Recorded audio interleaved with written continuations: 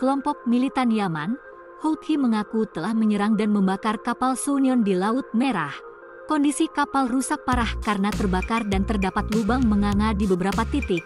Pengakuan tersebut diumumkan Angkatan Bersenjata Yaman pada Kamis, 29 Agustus 2024. Mereka turut menerbitkan adegan baru penyerbuan dan pembakaran kapal Yunani Sonyon. Kapal tersebut diserang karena diduga melanggar keputusan untuk melarang masuk ke pelabuhan-pelabuhan yang diduduki Palestina, dikutip dari Al.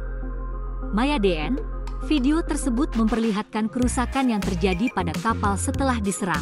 Sementara seorang prajurit angkatan bersenjata memeriksa dari dalam, prajurit tersebut bersiap untuk meledakannya dan membakar kapal pemimpin gerakan Ansar Allah di Yaman, Abdul Malik Al-Houthi memberikan keterangan, ia membenarkan pasukannya menyerbu kapal Sunyon.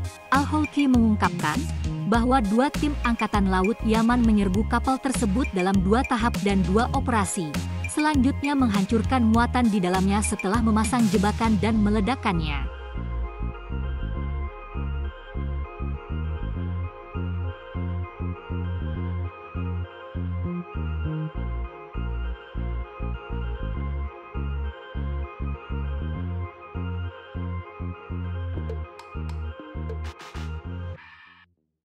Download Tribun X sekarang. Menghadirkan lokal menjadi Indonesia.